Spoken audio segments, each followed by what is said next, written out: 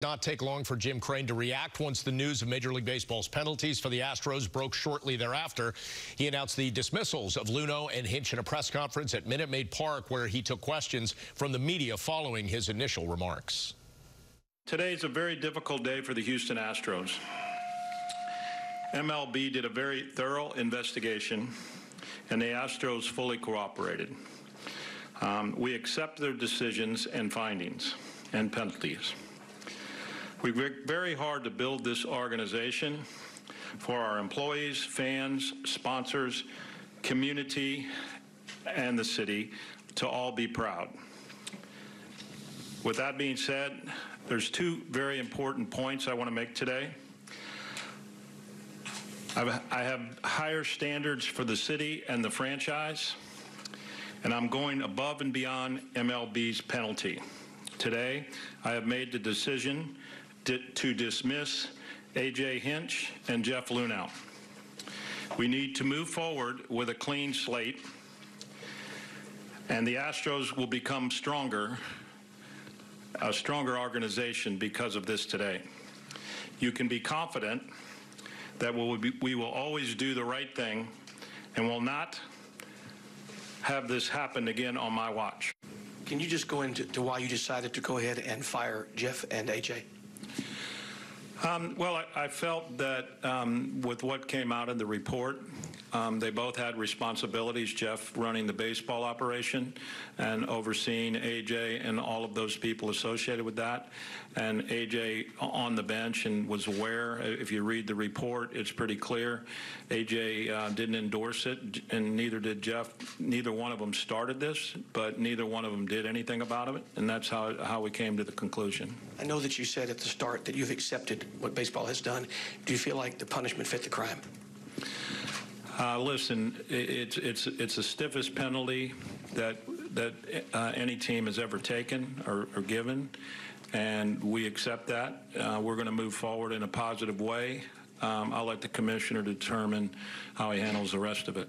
Jim, uh, does this taint the uh, World Series championship, and what do you, what do you say to the fans right now? Well, um, I, I, think absolutely not. I think, you know, we've had a very good team for a number of years before 17. Uh, we were turning the corner, uh, 18, 19. We have a very good team on the field this year. Um, you know, I think we'll have a great season. Got a lot of, lot of great players still. Um, and um, I, I don't think it taints it. Going forward, do you think there's can be anything like an accountability system or any anything you're going to implement so something like this can never happen again? Yeah, I, I think you know, with the with the technology coming into the dugout as it did with the replay system, you know, that kind of triggered some of this. Um, and with the replays very close and sometimes even in the dugout, um, we're going to put some checks and balances in. We're going to study the rule book, and we're going to have a compliance program in place to make sure, as I said earlier, that this doesn't happen again. Jim, in all your business dealings prior to owning the Astros, now owning the Astros, is this your toughest day ever? This is a tough day. Um, I've had a lot of tough days over the years. But yeah, this is this is tough one. So amongst the things Crane said there, uh, that he doesn't feel the 2017 championship was tainted. Uh, I think people might view that differently through this prism, Jack. If the cheating had happened once or twice and it was picked up and they'd stopped it, I think that would be fine. They carried it through the 2017 postseason. That had a potential huge impact on them winning that title. Yeah, I'm going to respectfully disagree with Jim Crane on that. It absolutely is tainted. And you read the nine or 10 page baseball investigation, Bob. 68 different witnesses were interviewed, 23 current or former Astros. They sifted through tens of thousands of emails, and there are a lot of damning evidence in that report to tell you, as you said, Bob, that this was a recurring thing and that this continued to go on. Luhnow and Hinch lost their jobs because they didn't do anything to stop it. Luhnow is saying he wasn't aware of it, so he should be aware of it. You're the general manager of the team. You have to be aware of that. Most general managers come come down after a game and visit the manager. That's where that whole setup was. I'm sure he had to see that multiple times. And then A.J. Hinch did not do enough to stop it. He said he didn't condone it. He didn't start it.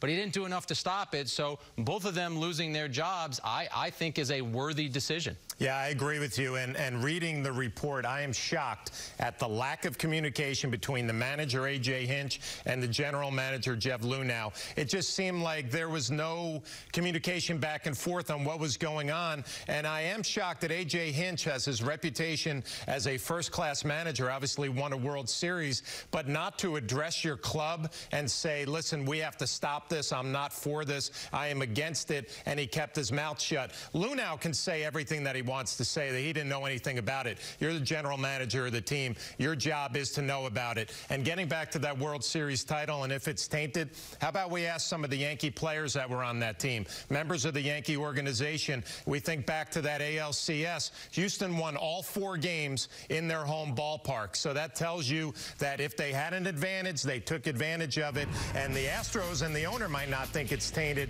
but I'm sure that those Yankee players now are thinking when this report came out, maybe this could have ended a little bit differently and we could have had a shot at a World Series. Those are some powerful statistics in that graphic right there, John. And I totally agree with you. If you're the Yankees, the ALCS from that season, if you're the Dodgers, the World Series, of course you're playing the what if game. You're going back and you're reviewing video. You're probably reviewing video going through your head and saying, wait a second, if I'm a pitcher, I, I threw a really nasty breaking pitch and that guy didn't even try and bite on it. So that's why it's tainted. Jim Crane doesn't get to decide whether he thinks it's tainted.